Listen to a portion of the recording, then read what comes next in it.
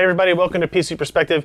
I'm Ryan Shrout with Allyn Malventano, and we're here to take, talk about another SSD, but this time not a SATA SSD. Nope. PCI Express SSD. This is the G.Skill Phoenix Blade PCI Express drive. We've got a by 8 PCI Express 2.0 connection. 2.0 by 8. I guess is that limiting us in any capacity in this particular drive? Not really, because really? other things that compete with that will might be uh, 3.0 by 4, which is basically the same speed. Okay. Yeah. So this is a 480 gig model. Uh, what is the target kind of user or demographic for a device like this? So this is supposed to be uh, the same kind of demographic that you would target a Revo Drive 350 Okay. or a Revo 3X2, Sure. right? Uh, so kind of like you want faster than SATA, you want a PCI Express SSD, you're still a consumer, you're not enterprise, you just want it to go faster. Right. So there you go. All right. And four, 480 gigs is plenty of capacity to. Yep. Can you install your OS to this? You can. Uh, there, you have to use like there's a driver you have to install. It's not Hit the built F6 in. during Windows installation. You, you have to do that. You have to have thing. your own driver. Yeah. All right, and then I mean, like I said, there's plenty of capacity for the OS Mm-hmm. to install some games to, and basically run an entire system off of, except for maybe some long-term storage there, right? Yeah, I wouldn't use it for. Uh, what are the storage. what are the basic specifications of the Phoenix Blade? So, it's pretty much Like, what controller are we looking at? What Okay. flash are we looking at? all right. So uh, it's a RAID internally. Okay. Okay. So you have a set of four uh, SandForce 2281 controllers, Toshiba flash, right? Okay. Because it's that controller's kind of been pushing Toshiba lately, Sure. you know. Um, and where OCZ used to use their VCA 2.0 chip to kind of tie all that together, Mm-hmm. it's their version of a not really a RAID chip, but it's more just like a, you know, it fans that bus out to those devices. It's not doing like a RAID 5 or anything. It's basically Right. just striping across all of the drives, right? RAID 0, basically. Um, this uses a different, it's like a different name. It's um, SBC, so it's basically Scale Boost Virtualization Technology. It's Huh. just a different name for doing the same thing that the VCA2 architecture did Okay. Right. It's, uh, it's supposed to be able to pass smart data through the controllers back to the host. Trim, that's the big one, right? You want to be able to pass trim through Right. that chip back to the host. That way, you can, when we do our iometer testing, you actually see the, the ramp up. Sure. Right. If you didn't do that with that chip, it would just basically, basically be a flat line starting from Q depth one straight across, and that. So this shows up in Windows as just a single device, Yes. right? Okay. All right. Yeah, just one device, 480 gig. Once you have the driver installed, that is. Right. Yep. Now, if you're adding this as a secondary drive, do you still have to have a driver for Yeah. optimal performance, or just to see it at all? No, just to see it at all. Okay. Yeah, there's a um, there's a their driver package has two different things. We get that little small set of like three files with the INF in it. That's just for for like during the Windows install, right? Right. And then they have a separate standalone. It's like you know a nice packaged installer that you just run if you were installing this as a, As a secondary, as a secondary, secondary drive. unit. Okay. Yeah. Okay. You don't need to do the second one after you already did the first one. Like once you have the the driver installed, that's it. You're done. You don't have to. You don't get any added benefit by installing that larger package. Gotcha. Yeah. Okay.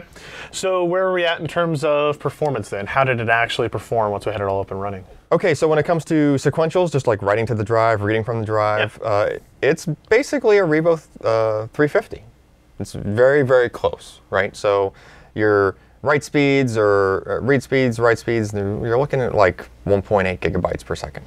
Okay, that's fast. 1.8 gigabytes per second reads and writes. It, it is fast. Uh, the writes were doing pretty close to that. yeah. All right, so here's kind of the hiccup though. okay. Still using SandForce. Right. right? So when it comes to anything that has to do with random I/O, right, just random 4K, random any kind of workloads, uh, you're waiting on SandForce, which is a very latent controller when it comes to like it gets an I/O, it has to wait a certain amount of time before it's able to give you that data, right? Huh.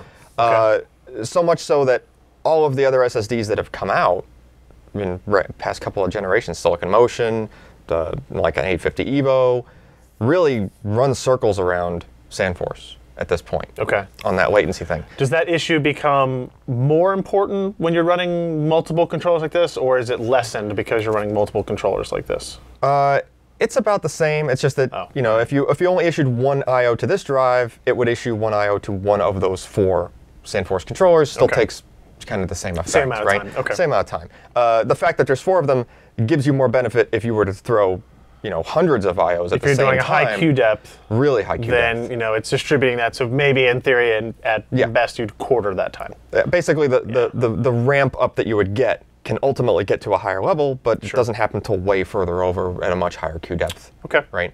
Um, so, for a person that's just going to be using this day to day, uh, if you were using it in a random I/O workload, any kind of randomness at all, um, this unit doesn't surpass the newer like single SSDs. Not even a RAID of them, but just a single like 850. Talking Pro. about uh, SATA SSDs. SATA SSDs. Okay. Right. Uh, it doesn't really pass it until you get past a Q depth of eight.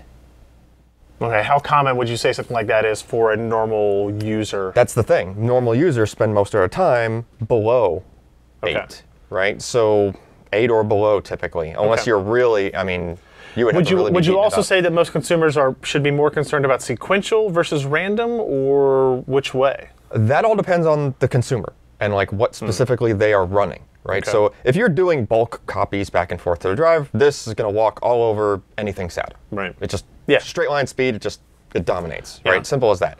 But when it comes to random I/O, things like booting Windows, that's incredibly random, right? Okay. You know, just there's just all these different, uh, you know, some what games. about something like game loading? Right. That's the game thing. loading. It seems to me like it might be. It should be a sequential thing, but I could see how in other cases why it would it not. should be, uh, but here's a, here's a perfect example. Um, this drive might have a harder time writing like when you're doing your really fast Steam game downloads. Mm-hmm, That's doing a much more random workload, even though you would think it's just one download, but Right. it's actually Steam's doing. kind of distributing data. it's a distributed a network. Random fashion. so yeah. to the SSD, that looks much more like a random workload. This might actually end up having a harder time with that than a s- than a good single SATA SSD. Hmm. and that's a result of the latency of that SandForce controller. just the latency per I/O. Yeah. Okay. It ends up adding up when you have you know dozens, thousands of I/Os all happening at the same time, different Right. spots of the drive, right? Right. Um, as far as game loading, it really comes down to how the levels are packaged. sure. Yeah, Right, yeah, so, yeah, that's. You know, if it's if it's a but if it's a game where if you had it installed on a hard drive, you could hear the hard drive thrashing around while the game level was loading. Right. Then that's more of a random workload. Right? Hmm. Okay. That kind of thing. That's how you could tell by your ear if you have a hard drive. So there are cases where a SATA SSD is going to be faster than this than this this for setup. some random workloads. Yeah, what I really Sequential, this will still be significantly faster than what Yes. SATA 6 gigabit per second can handle. Right. As a matter of fact, this is pushing more than you could even get out of four, four or even six SSDs in RAID behind an Intel RAID controller. Oh, really? Because Yeah, you're yeah. that the you're um, you're actually bottlenecked elsewhere in the pipeline. Ah, Right from that controller, you can Yeah. only really get 1.8 gig per second out of that, regardless of how many SATA devices you have hooked up. So, yeah, if you really want the fast straight line speed, and you just want, say, you want a really clean build, right? You just want to have a PCI Express card next to your video card. Right. That's it, right? You don't even have to worry about SATA cables, where you're going to put those drives. Yeah, that's true. That's Depends true. on you know depends on what the person wants really. What about pricing? Do we have any pricing information on this yet? Uh, we're going to put that in their review. We just don't have that. Uh, this this is we're, we're looking at this pretty early on, so uh, I don't think it's actually for sale or anything yet that we've actually seen it. No, I don't- don't I have don't any really it is. indication from G.Skill on it. Um, I you know I physically I like the design of it. I think it looks neat. Yeah. It's it's well designed, well packaged. Part. What are the lights on the back? Just activity. Yeah, it's activity. It's like status. It's on there. and Okay. activity. Yeah. Um, I will say, like the use of heat sinks and, and the way that they used it is well thought out. Right? They're putting heat sinks where they need to put them. In other words, SandForce chips kind of draw a little bit of power. Yeah, but there's no, No. heat sinks necessarily. We're just on the flash chips. No, the flash is okay. So yeah, okay. Yeah.